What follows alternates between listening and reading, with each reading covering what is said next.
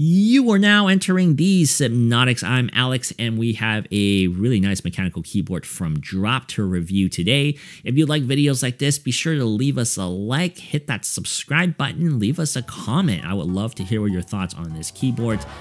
So let's jump into this video.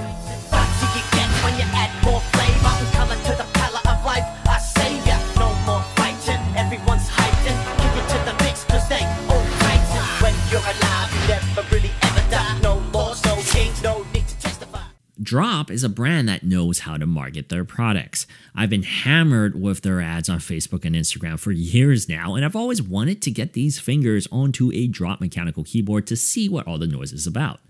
Enter the ENTR. I bought the Drop ENTR 10 keyless mechanical keyboard for $99 and have been using it as my main keyboard for more than a month now. While it isn't the most glamorous product we've ever looked at here, I certainly do see why mechanical keyboard fans turn to Drop when they're on a budget. The color and switch combination I chose to add to my desk setup was the green and gray combo utilizing Halo True switches.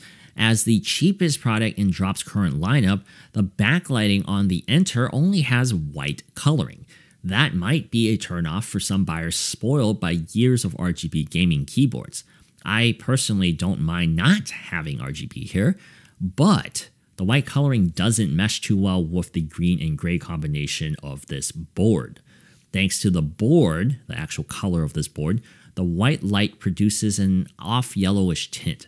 This has a very 1980s IBM feel to it. That aesthetic feel is back in nowadays, so this might be a benefit to retro keyboard seekers. Other than that, the Halo True switches fit perfectly in just about any setting as they are relatively dense in weight, yet effective with the, with the keystrokes. They're springy with a suppressed muffle as not to be intrusive or obnoxious to others in your surroundings. The sound that comes out of this mechanical keyboard is it's deceptively tame in volume and presence. I actually think this would make a terrific, terrific office keyboard with this color combination as well. It's just very subtle.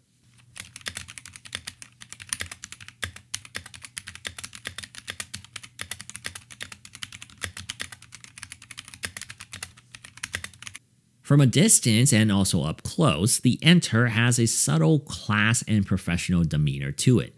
In fact, I feel like I feel like that's how most of Drop's mechanical keyboards are. Housed in an anodized aluminium casing with double shot PBT keycaps, the keyboard is pleasant to the eyes, while durable to the fingertips as well. It's also a bit heavier than it looks thanks to that metal body. This keyboard can be propped up in only one height on top of laying it flat on the table. I think the angle is just about the right height for most typing or gaming experiences to help alleviate strain during long periods in this certain position. It's also nice and sturdy without any wobble or flex due to the solid metal body. I won't know for sure how well a keyboard will hold up with everyday use until a couple of years later, but we don't have that much time for this review. But at least with double shot PBT caps, I have a bit more confidence in it retaining its appearance for a bit longer. Drop claims the ENTR will survive over 80 million keystrokes for this 87 keys on the board. Speaking of keystrokes, it has been quite fun messing around with these Halo True switches. There is a distinct retaliation sensation that feels as if the keyboard is putting up a resistance to your finger upon input. The cool thing about these switches is when you try typing with minimal impact and the ENTR registers the command with the key barely moving down. It's quite fun to watch in slow motion when you're typing. This is a heavy departure from the sound and feel of something like my Azio retro keyboard or the light tapping opto mechanical switches on my Razer Huntsman. The keyboard layout is 10 keyless, which means we don't have a numpad here. Drop isn't known to produce full-size keyboards, so this is a norm for them. The key icons are also quite minimalistic, so choosing to omit these secondary functions like media controls or backlighting from print, I actually kind of like that you know, the aesthetic choice on this is something that I appreciate because I have actually memorized my shortcut commands during my time with the Mionix Wei keyboard. I'm also a fan of that font decision that Drop uses on all their keyboards. with the exception of the shift commands on the num row, like the uh, dollar sign or the at sign, every letter and word on the keyboard fits my style to almost an exact T. Lastly, the drop ENTR plugs into a computer using USB C as its cable. You can bring your own cable to the party as this mechanical keyboard allows for detachable connectivity. That's a terrific thing. That's terrific for customization with coiled aviator cables. Drop has a little bit of compatibility issues with a lot of their keyboards due to the output of the wattage. Fortunately, the ENTR doesn't seem to be plagued with that issue or that same kind of fate as their siblings in the current lineup of keyboards.